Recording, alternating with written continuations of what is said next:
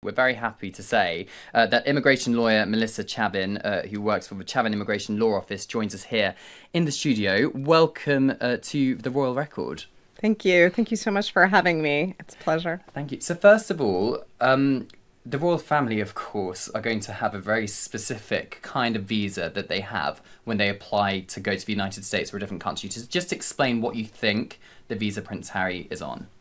I think that the visa Prince Harry is on is something that none of us see. And for me, it is very uncommon and rare. But for the royal family, it is probably the most common visa that they think about. Think, do we need a visa to go to the United States? Yes, of course. Which one? Oh, it's the A1, of course. And what does the A1 visa kind of give you? What what kind of visa is it? So there are a couple kinds of A1. Usually it's for an ambassador or perhaps someone working very high up in an embassy.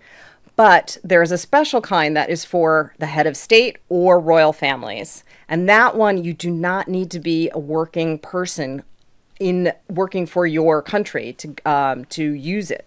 So you can do whatever you want when you get to the United States. I don't know if you could be work eligible for any type of work, but you can not be representing your country when you go. And in terms of a security check on that, how does that differ to the everyday visa that most uh, normal citizens would get to enter the US? I think there's a focus on only three areas terrorism, uh, contrary to foreign policy, and espionage. Just big, big on the big headline level of what those ineligibilities might be. But yes, everyone else has has a look at whether you violated a controlled substance uh, statute. So, what kind of questions do you think Prince Harry would have been asked related to drug use uh, on this immigration form? He may, they may have just put out feelers to get information to check what is going on from the UK ministry when the UK ministry said to the US foreign ministry, is this person qualified for an A1? So they may have asked him some of the normal questions.